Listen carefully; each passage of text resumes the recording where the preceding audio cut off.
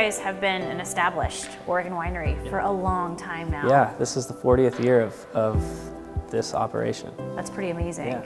And it's very family family operated, family run. Absolutely, yeah. We think of, you know, our family does run it. Truthfully, the winery is a family too. Um, and, you know, we think of our staff like extended families. So. For Silvan Ridge, things took a fairly tragic turn last year. Yeah, they did. We lost Liz uh, last year in February of 1st of 2018, um, unexpectedly.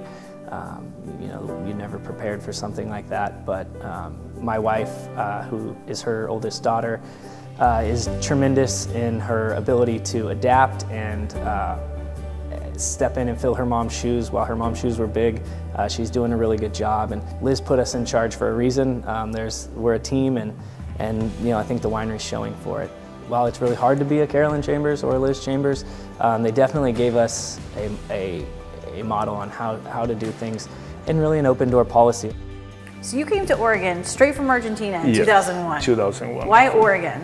Well, it was a region that was growing, and uh, I was um, excited about Pinot Noir. It wasn't a big shock on the on the uh, winemaking side because I, I, knew what I was doing and everything. But uh, to understand a different region, a different different people, different culture, and so it, it, it was a rough beginning, but with a great potential.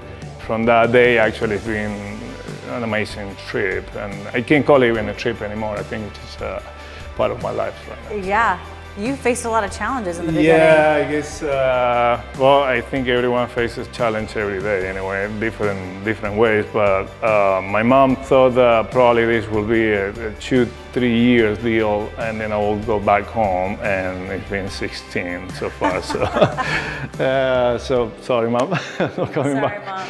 Not, Not coming, coming back. home. No. Not coming home. Okay, so we go this way, this. What's the motivation behind um, being involved in the Oregon wine experience year after year for you guys?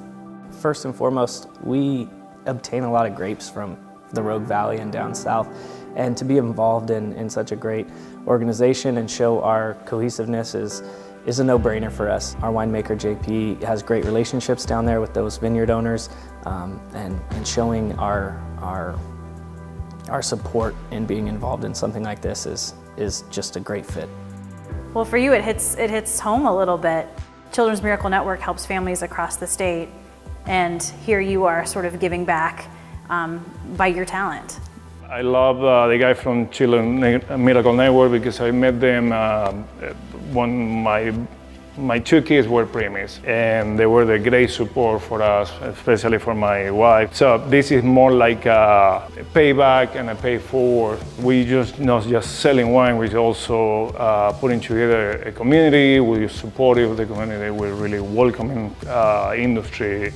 So I, I love. I think this is just a, a, a way to express support and at the same time we can sh show people what we do.